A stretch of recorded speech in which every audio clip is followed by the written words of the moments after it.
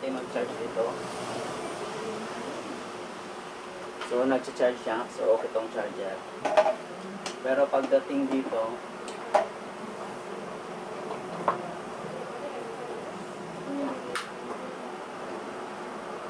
hindi siya nag-charge.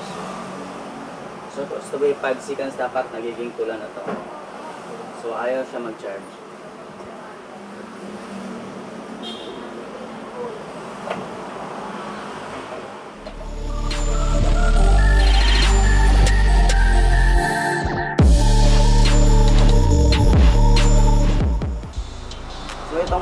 Dapat meron siyang 40 volts pababa para hindi siya mag-charge. Pero ito meron pa siyang mataas na power.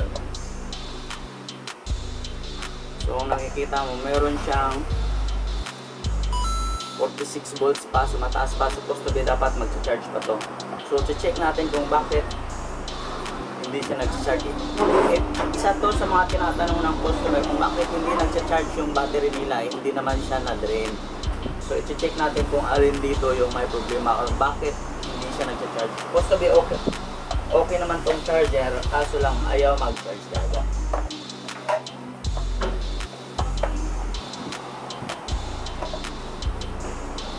Hindi siya. So, bubuksan natin yung battery.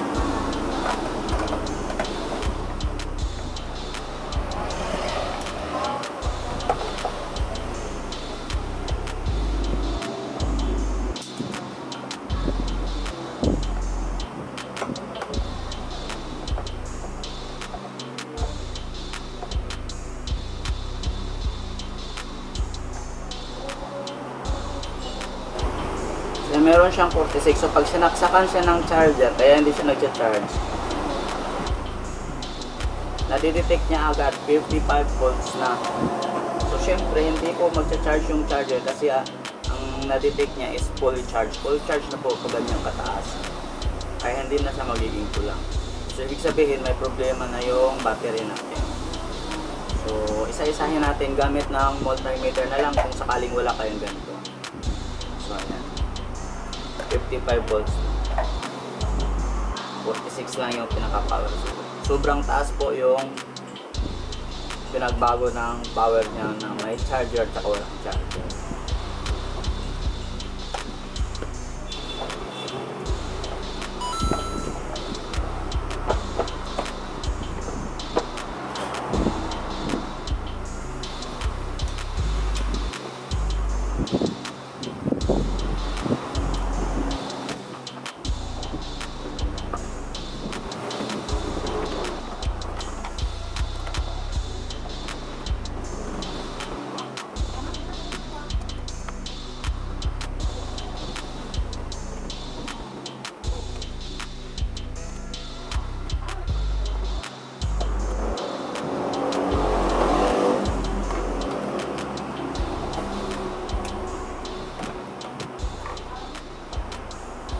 Natin kada battery. 12.5 11.2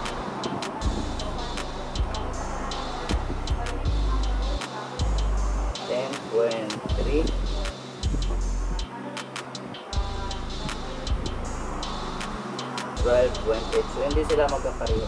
Pero paano malalaman natin kung alin dito sa kanila ang may sira? So once sinaksakan natin ng charger guys saksak natin yung charger.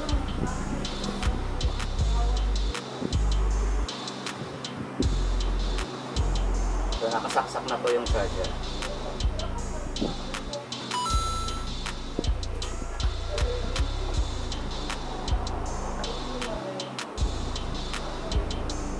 natin yung bawat battery. Supposed to be, mayroon siyang dapat maximum lang na sa isang battery, ang pinaka-full charge kasi na 13, 13.5, mga ganun.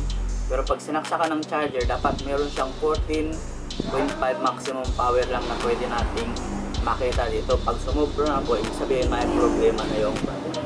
So, test natin isa-isa yung battery. Meron siyang 12.5.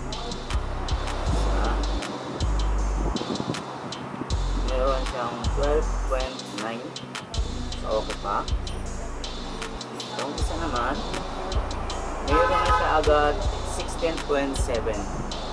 Sobra na po sa power na dapat natin makita. So, ibig sabihin, ito isang battery na to, bumigay na. So, the next, isang battery pa.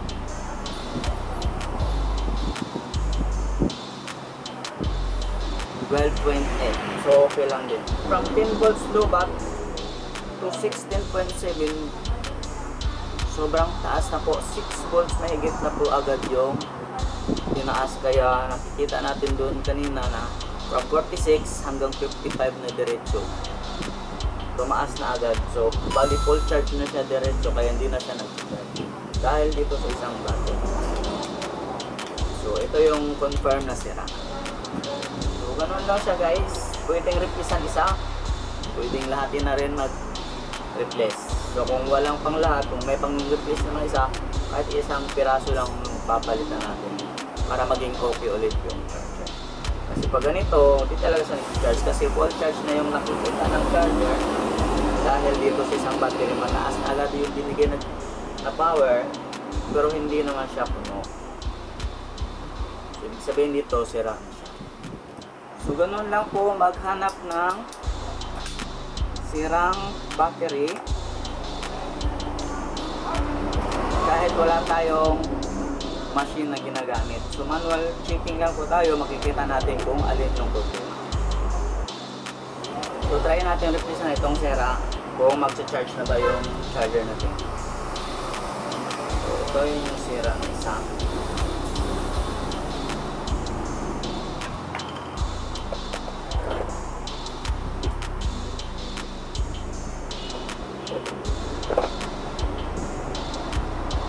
Mag-charge na ba yung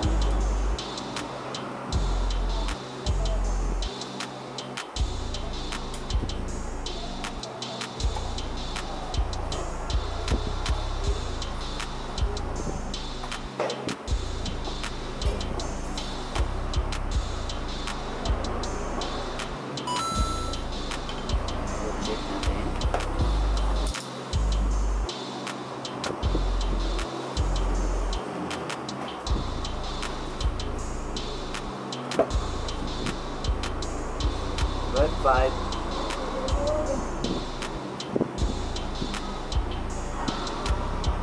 Eleven thirteen.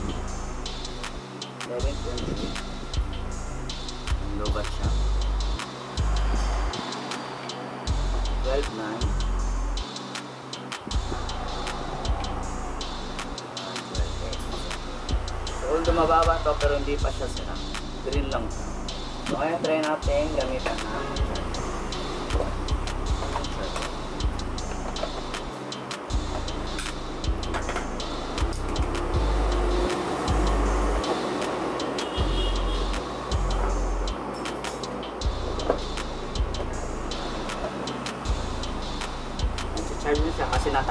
natin yung sirang battery.